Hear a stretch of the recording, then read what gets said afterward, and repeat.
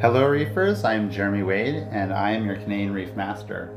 Today we're having a look at the one year anniversary of my 10 gallon nano budget reef tank. Over the past few years, the cost of this hobby has increased substantially from that of 20 years ago when I started this hobby. This is making it very difficult for new people to enter the hobby. People are looking at tanks of Instagram. These beautiful tanks cost thousands of dollars, and most people don't have that money to spend on a hobby these days. It is possible to still have a beautiful reef tank if we budget and focus on coral that are very unique and may have interesting structures or patterns. This tank started as a 10 gallon freshwater starter tank with a hang-on filter. It has evolved into a beautiful nano tank with a few upgrades over the year. As you can see, this tank is still vibrant and has a fabulous selection of corals that have an array of colors. This selection of coral include LPS, soft coral, and SPS corals. In general, I spent under $20 on coral in this tank. There are over 20 different types of coral in this tank.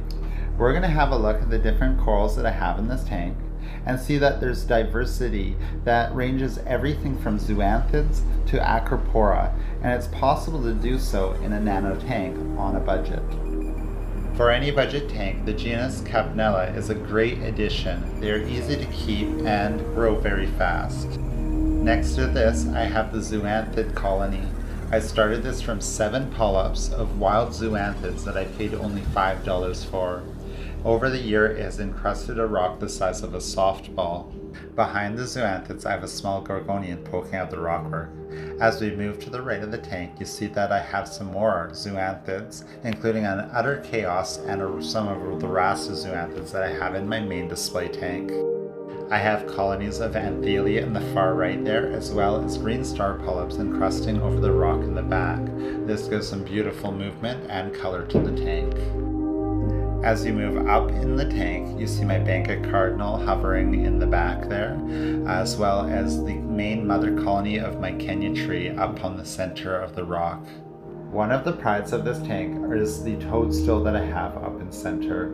This was a one inch, $5 tissue fragment that I grew into this beautiful specimen, showing that even small fragments can produce a great coral. In the upper left of my tank, I have an interesting diversity of coral. I have a green plating Montipora, a blastomussa, candy cane coral, Nephthya coral, and some photosynthetic gorgonians.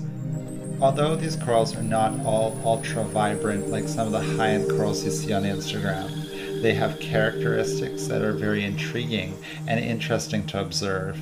And just because it's a budget tank doesn't mean you can't splurge every once in a while and add something really special to the tank. One of the ways I maintain this as a budget tank is I consider the metabolic needs of coral. I choose coral that don't require large amounts of alkalinity, calcium, or magnesium. Therefore, I don't have to buy any test kits to test these parameters, and a water change will replenish any depleted values. I also choose coral that uptake nitrates and phosphates quite readily, such as Anthelia, green star polyps, the Kenya tree, or even Xenia, which may be used for nutrient control in a small system.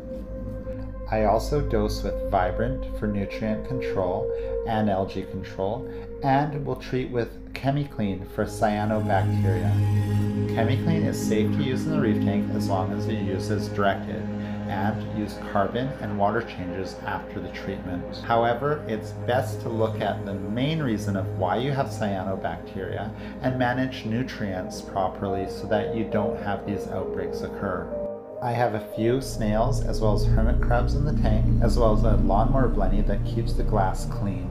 Here in the back right of the tank, you see the green star polyps starting to grow up the side of the tank. Originally, I had a hang-on filter on this tank. However, I realized I had a canister filter in storage, so I threw this on the tank. Here you'll see me cleaning my canister filter, which I do every two and a half months when I want to switch out some carbon or put a bit of filter floss to buff the water. Canister filters are great for small tanks. It increases the volume of water for the tank, as well as it allows an area for biological and mechanical filtration. Here's a top-down view where you can see the wonderful diversity of corals that I have. By visiting the local reef shop monthly over the past year, I have been able to pick out a few budget pieces each visit. This has allowed me to build an awesome selection for this aquarium that has grown throughout the year to produce the tank that it is today. This tank now mesmerizes my visitors, and they are often attracted to this tank over my spectacular Red Sea Reefer 250 with a lot of higher end coral. I encourage those who are curious about reefing to look into doing a budget reef tank. If you're interested in starting into reefing, talk to your local reef shop about your budget and see what is manageable for you. There are many all-in-one systems that offer a great start into reefing these days. And of course, there's many YouTube channels that offer great information on how to start up your first reef tank. I hope you enjoyed the one year anniversary of my 10 gallon budget reef tank. Don't forget to like, comment, and subscribe for future videos. Take care and enjoy your reef.